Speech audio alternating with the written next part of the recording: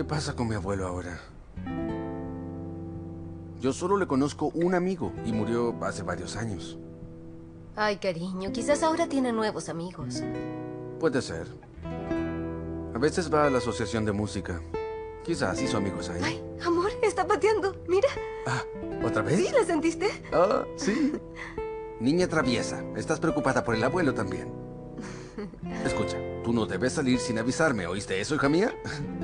Mehmet, ojalá tenga ojos azules como los tuyos. ¿Por qué, cariño? Puede tener ojos marrones como los tuyos.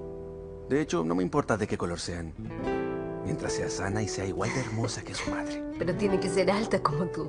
Y menudita como yo. Pero no demasiado alta. Si no, después no encontrará esposo. No seas malo.